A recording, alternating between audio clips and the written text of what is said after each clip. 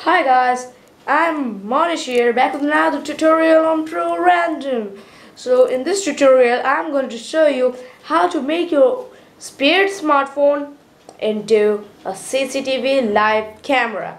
So let's check this. For this you're gonna need a spare smartphone and a computer. This is my spare smartphone and this is the computer connected with the same Wi-Fi. So let's get into our smartphone. Alright guys, we are in our smartphone and in this mm, just you gonna need to do is to go to Play Store and type in IP webcam and then search it.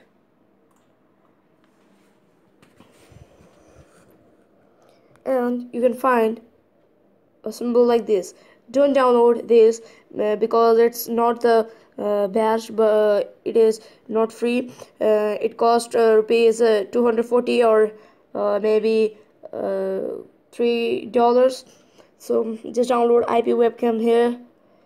And I have already downloaded I have already downloaded. So just open it. After that you don't do anything in here you don't need to do anything here. Just go down and click start server option. So you will get a screen like this. And then what you're gonna need to do is to jump to the computer and type this IP here. You just only have to type this 192.168.0.4.8080 maybe your uh, mobile is in the different location so you have to just go uh, you have get you get the different IP address on your smartphone. So let's jump into our computer okay?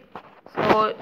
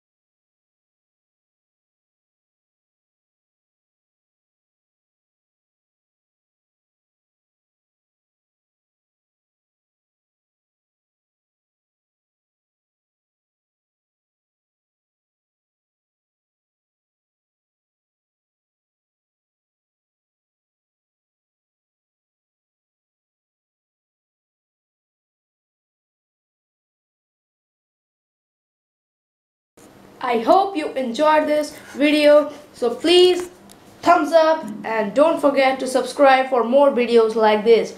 And I did I have did a video in one week. So don't forget to subscribe and like this video.